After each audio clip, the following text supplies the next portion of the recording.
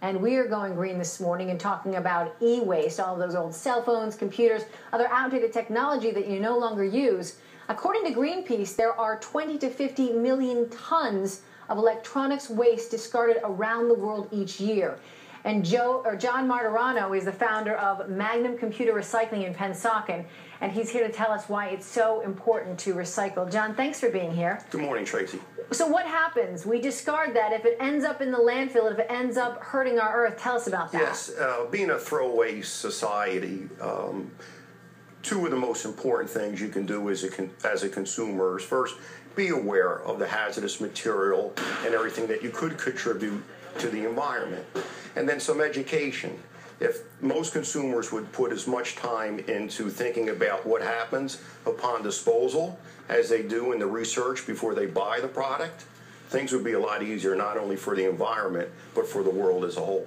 Now you have a huge warehouse in South Jersey. Where tell tell us what happened in terms of recycling because there's a every little piece you can pretty much use. Yes, everything uh, gets broken down. We collect not only at a county facility but individual townships. Mm-hmm.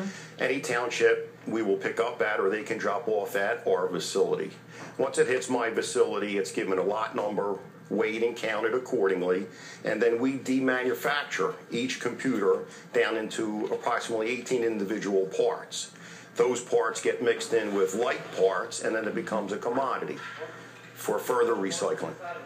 And so, what should people who are looking around their homes saying, Yeah, I have a bunch of those in the drawer, I didn't know what to do with, what should I know about discarding electronics? The, the easiest thing is to visit a website. Uh, a very good website is Thanks for Being Green, mm-hmm. either .net or .com. It's very informative.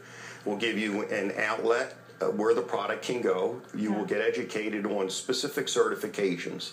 It's important that when you do use a recycler, that the recycler is not only licensed in the state, but either as part of the R2 or E Stewart's certification process. Very important certifications, I, Very I understand. I do want to tell people about two events that are coming up this weekend because it is Earth Day and all week long there are all kinds of events going on that you'll be able to drop off your electronics to be recycled. The first is at Cherry Hill's Earth Day celebration taking place at Croft Farm on Borton's Mill and Brace Roads from 10 till 2. The second one also happening on Saturday at the Winslow Township Public Works on Route 73 in Hamilton. That's taking place from 8:30 until 12:30. And John Martorano, thanks so much for being. Thanks for be, doing what you do for the environment. Thank you. Appreciate it.